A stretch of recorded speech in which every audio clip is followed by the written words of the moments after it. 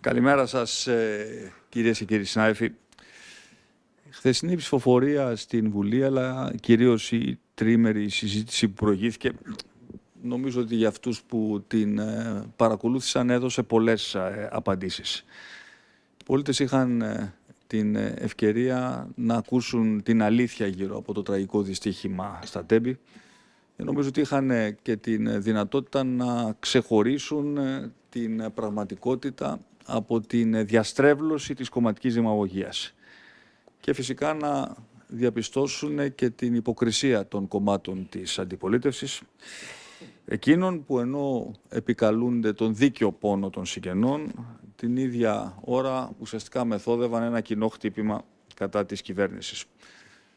Προσωπικά μίλησα με ειλικρίνεια, από καρδιάς, ελπίζω να με άκουσαν και με τον ίδιο τρόπο Νομίζω ότι σε τέτοιες στιγμές είναι σημαντικό τελικά να κυριαρχεί η ουσία και όχι οι εντυπώσεις, η λογική αλλά και το συνέστημα, γιατί πιστεύω ότι οι πολίτες αντιλαμβάνονται τελικά ποιος είναι ειλικρινής και από τον τρόπο με τον οποίο εκφέρει το λόγο του.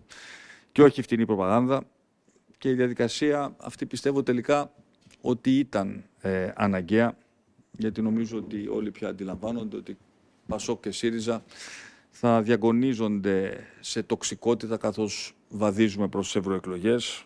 Νομίζω ότι είδατε και τον κινησμό με τον οποίο εργαλειοποίησαν ένα συλλογικό τραύμα και πόσο αδίστακτα ε, μίλησαν ακόμα μέχρι και για νοθεία στις εκλογές, ε, με πόση ευκολία αγκαλιάστηκαν με εξωθεσμικά κέντρα, αλλά και πόσο επικίνδυνους δρόμους ανοίγουν, αμφισβητώντας ουσιαστικά το σημαντικότερο κεκτημένο της μεταπολίτευσης 50 χρόνια μετά την αποκατάσταση της δημοκρατίας που δεν είναι άλλο από τις δίκαιες και ελεύθερες ε, εκλογές. Προσωπικά είχα την ευκαιρία να επαναλάβω κάτι το οποίο έχω πει πολλές φορές και εδώ στο Υπουργικό Συμβούλιο. Ε, δεν συγκυβερνούμε με κανένα συμφέρον, καθένας στο ρόλο του. Και όλα αυτά αναδεικνύουν και τη διπλή πολιτική βαρύτητα που αποκτά η αναμέτρηση του Ιουνίου και εκεί από τη μια μεριά κρίνεται η ελληνική εκπροσώπηση στην Ευρωβουλή και μας περιμένουν ε, σημαντικές ε, μάχες σε πολλά επίπεδα, μεταναστευτικό, άμυνα, ανταγωνιστικότητα της ευρωπαϊκής οικονομίας, ε, περισσότερα κονδύλια για τους αγρότες μας. Χρειάζονται συνεπώς ευρωβουλευτές με ευρωπαϊκή γραμμή, αλλά ταυτόχρονα και με δυνατή εθνική φωνή. Ενώ στην ίδια κάλπη θα ζυγιστεί προφανώς ε, και η πολιτική σταθερότητα αλλά και η συνέχεια μιας ε, πορείας ε, που παρά τις δυσκολίες μας οδηγεί μπροστά.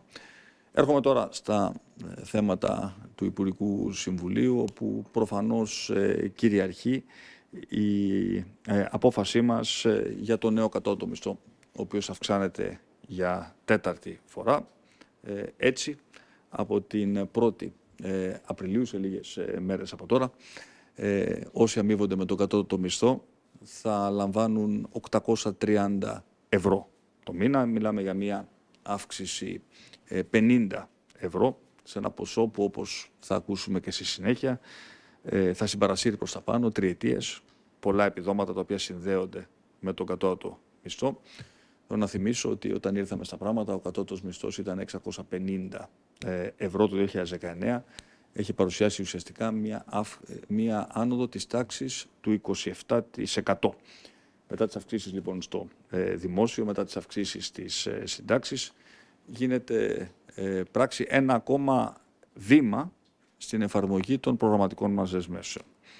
Με μόνιμα μέτρα, να το τονίσω αυτό, μόνιμα μέτρα τα οποία αφορούν εκατομμύρια οικοκυριά και τα οποία προφανώς θα ισχύουν και μετά το πέρασμα της ε, διεθνούς ακρίβειας, ώστε να μπορούμε να πετύχουμε τον ε, στόχο τον οποίο έχουμε θέσει. Το 2027 ο μέσος μισθός στην πατρίδα μας να είναι 1.500 ευρώ και ο κατώτος μισθός 950 ευρώ. Θέλω να τονίσω ότι η σημερινή απόφαση είναι ε, σωστά μελετημένη, ε, ανακουφίσει σίγουρα τους εργαζόμενους, δίχως όμως, και είναι κάτι το οποίο το συζητήσαμε εκτενώς με όλα τα αρμόδια οικονομία, ε, δίχως να φύγει, και αυτό είναι κάτι πολύ σημαντικό, τις αντοχές ε, της οικονομίας και την ανταγωνιστικότητα ε, των, των ίδιων των επιχειρήσεων, είναι μια βάση που στηρίζει το εισόδημα, αλλά δεν επιβαρύνει τόσο το κόστος παραγωγής, βάζοντας σε κίνδυνο ε, την ε, μείωση της ανεργίας. Ε, και βέβαια είναι πολύ σημαντικό η αύξηση αυτή σε καμία περίπτωση να μην οδηγήσει και πιστεύω ότι κινείται στο επίπεδο που αυτό δεν θα συμβεί νέες προσδοκίες σχετικά με τον πληθωρισμό από εδώ και στο εξής. Για το ύψος της αύξησης λάβαμε υπόψη εισηγήσεις κοινωνικών και επιστημονικών φωνέων, ενώ και φέτος η αύξηση αυτή έρχεται πια νωρίτερα, 1η Απριλίου, προκειμένου να ωφεληθούν από αυτή την αύξηση ε, και όλοι οι εργαζόμενοι στον ε, τουρισμό. Και είναι η ίδια συνετή πολιτική την οποία ακολουθήσαμε και στις προηγούμενες ε, αυξήσεις.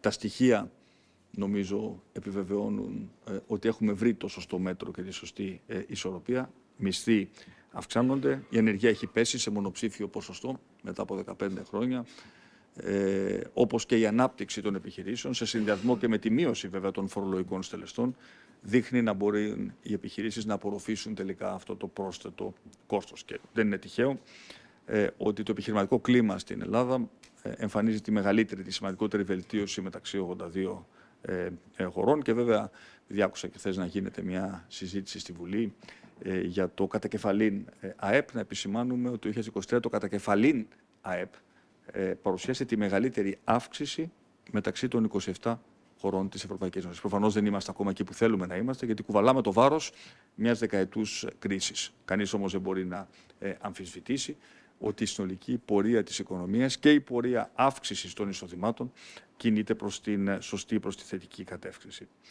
Ε, όπως είπα και στην αρχή, θα μας τα πει στη συνέχεια και ε, η Υπουργός, ο νέος βασικός μισθός ε, συνεπάγεται αύξηση σε 18 ακόμα επιδόματα, από το επίδομα ανεργίας και εποχικής απασχόλησης μέχρι το ισόποδο επίδομα μητρότητας, που να θυμίσουμε ότι ήδη έχει επεκταθεί ε, και στις αγρότησες και στις ελεύθερες επαγγελματίες. Και με αυτόν τον τρόπο ενισχύονται επιπλέον 800.000 δικαιούχοι και φυσικά ε, επηρεάζονται θετικά και οι τριετίες που να θυμίσουμε ότι ξεπάγωσαν ένα χρόνο νωρίτερα από αυτό το οποίο προγραμματίζαμε. Ε, ξεπάγωσαν ύστερα από 12 χρόνια. Ψηλότερε αποδοχές, αυτό σημαίνει έως και 30% για χιλιάδες εργαζόμενους με σημαντική προπηρεσία στον ιδιωτικό τομέα. Παρά λοιπόν τις ε, ε, δυσκολίες, ε, παραμένουμε απολύτως προσιλωμένοι στη μάχη της καθημερινότητας σε δύο πρωτίστως μέτωπα. Υψώνουμε αναχώματα στις ανατιμήσεις. Έχουμε ήδη πολύ θετικά αποτελέσματα. Τα είδαμε και τα βλέπουμε στο ηλεκτρικό ρεύμα, όπου η πτώση των τιμών θα έλεγα ότι μπορεί να ξεπέρασε και τις δικές μας προσδοκίες, αποτέλεσμα της μεγαλύτερης διαφάνειας ε, που επιβάλαμε στην αγορά ηλεκτρικού ρεύματος και του περισσότερου ε, ανταγωνισμού. Έχουμε σημαντικές μειώσεις στο βρεφικό γάλα, σε πολλά ε, προϊόντα ευρείας χρήσης και προφανώς ο Υπουργός Ανάπτυξης γνωρίζει ότι αυτή είναι μια μάχη η οποία είναι συνεχιζόμενη, ω ότου φτάσουμε πια σε ένα σημείο μόνιμης αποκλιμάκωσης του πληθωρισμού. Και βέβαια, όπως είπα, στηρίζουμε το εισόδημα με μόνιμες αυξήσεις, στηρίζοντας κυρίως τους πιο αδύναμους και σε αυτό το σημείο εξάλλου συναντιέται και η οικονομική μας πολιτική με τις κοινωνικές μας προτεραιότητες. Αυξάνουμε το δημόσιο πλούτο, ώστε σε αυτό να έχουν μερίδιο όλοι.